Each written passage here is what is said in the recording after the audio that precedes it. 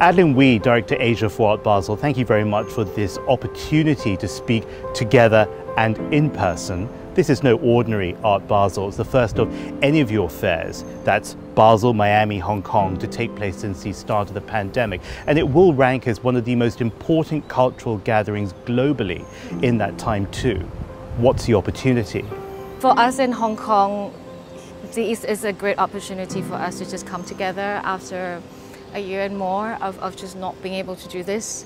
Um, I think the meaningful part of this is, is really just the face-to-face -face connections, the conversations that we will be having in the show floor, uh, the fact that we'll be celebrating art, uh, galleries, uh, despite the difficult time. And um, for us as well, on the online layer, the online sphere, it is really also the opportunity to connect to connect with a whole wide audience out there. We know who love and truly enjoy the Hong Kong show, who are unable to be with us. So what we're trying out here is to see if there is a way through internet, through live streaming, through social media that we can still have this dialogue um, together.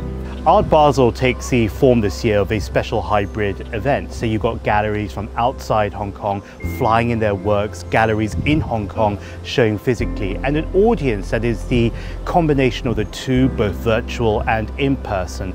Can that mix of experiences still be meaningful?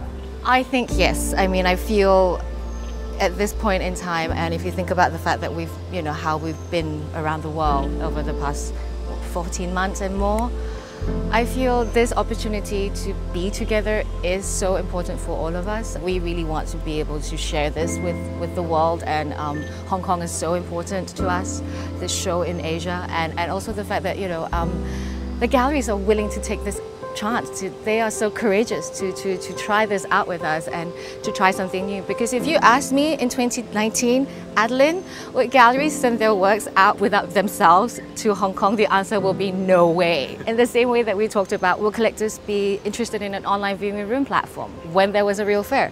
The answer before that was no. But if you look at where we are now, given everything that we've been through and the fact that we're all still here, I think the question here we ask ourselves is why not? Why not try this out? And you've got the start now of Art Basel Live, which is an exciting digital initiative of the viewing rooms that you spoke of, of virtual walkthroughs, and a daily live broadcast during the fair. After the pandemic, whenever that time comes, could all this become a regular feature of Art Basel? We asked ourselves, what is it that people would want from us? You know, what can we share with the world, even if just for a few minutes? And, and really, ultimately, the answer is very simple. They want to see the art.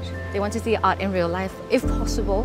They would love to see the booth environment, the show floor environment, and more importantly, people want to see Hong Kong.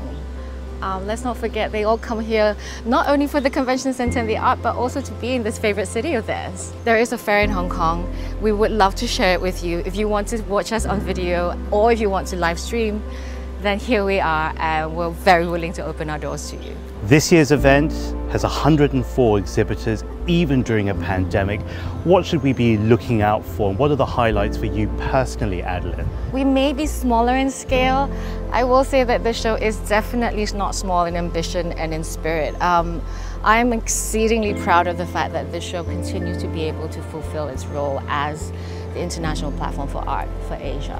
And this thriving community that we have here of artists, museums, galleries, collectors, schools, and much more, what do you see for the future of Hong Kong as that hub? And what could happen then because of that? Hong Kong is such a unique city. Um, I, I mean, honestly, I don't know if we can pull this off if we were in any other city. The spirit here, uh, particularly the art community, I, I have to say to you, James, this is, I know I keep telling you how moved I am and, and I and it is really true. Uh, you know, within Hong Kong, there is so much local talent that we can work with. That in itself is is inspiring for me. I think that in itself makes me optimistic. You know, just just the entire ecosystem that is the art ecosystem now it's so sophisticated compared to where we were, say, 10, 15 years ago. This is still the best place to do business and this is still, you know, really, it's, it's a really wonderful place for art in Hong Kong. Adeline Ooi, thank you so much. It is great to see you again. Thank you, James. It's wonderful to see you too.